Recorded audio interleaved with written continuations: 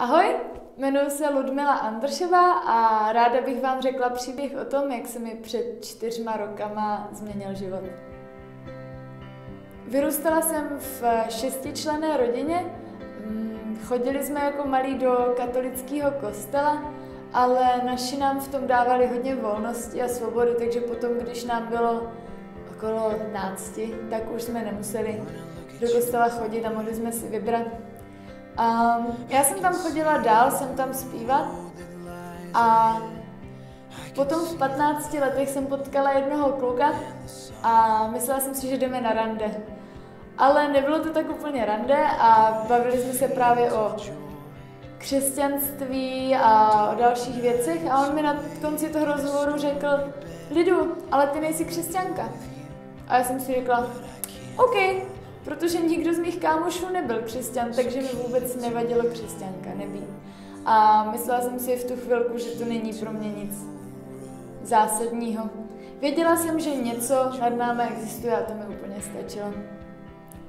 No a potom asi za dva roky jsem jela na svůj první English Camp a tam jsem se seznámila s jednou slečnou Michailou Banky, což byla američanka v mém věku a spolu jsme se bavili, mě se tím zlepšovala angličtina a, a ona jsem tam zmiňovala právě něco jako Ježíš a Bůh a já jsem si říkala, hm, aha, asi nějaká kulturní věc, tak skvělý, budeme se o tom bavit.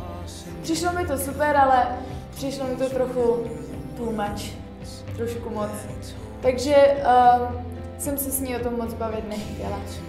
Díky English Campu jsem se seznámila i s partou křesťanů ze Šumperka, kteří měli mezi sebou takový zvláštní vztahy. Nějak jakoby jsem nemohla pochopit, proč se vlastně mají rádi, ale i když to mě lákalo, tak zbytek mi přišel prostě divný. Přišlo mi divný, jak um, mluví o Ježíši a rozhodně to pro mě nebylo něco, co chci v tu chvilku. Uh, pak jsem šla do čtvrtáku na střední škole, na které jsem se neskutečně těšila. Těšila jsem se na ples, těšila jsem se, že se dostanu na školu, na kterou jsem chtěla a těšila jsem se na to, že budu mít kluka a tak všecko, že bude podle mýho plánu, ale jak to tak bývá, tak podle mýho plánu nebylo nic. A na konci čtvrtáku jsem se ocitla v bodu, kdy jsem si uvědomila, že jsem si strašně moc věcí neproplakala a to bylo například to, že jsem nemohla jít na školu, na kterou jsem chtěla, protože mi našli uh, uzlíky na hlasivkách. Uh, potom to, že jsem neměla kluka, co pro holku na střední škole znamená, že není hezká nebo není dostatečná a další věci. Cítila jsem velkou jakoby nedostatečnost. A to byl bod, kdy jsem se poprvé v životě uh, modlila když jsem začala plakat a říkala jsem, ty Vogo, jestli ty Ježíši, o kterým ti lidi mluví, jestli doopravdy existuješ, tak já bych tě hrozně chtěla teď poznat, ale doopravdy a nejenom jako. Pokud neexistuješ, tak už o tobě nikdy nechci slyšet.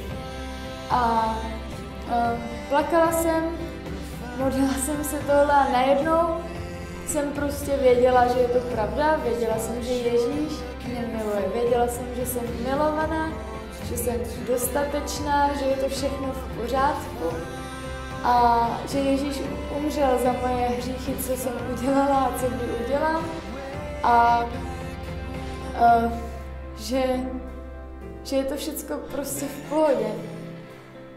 No a od toho dne se mi začal měnit život.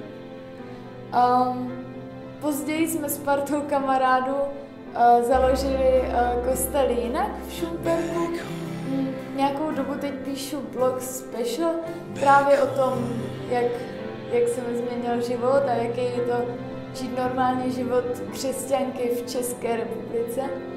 A um, je to skvělé a já se hrozně těším na to, co, co dalšího mě v životě čeká. Bude to hustý.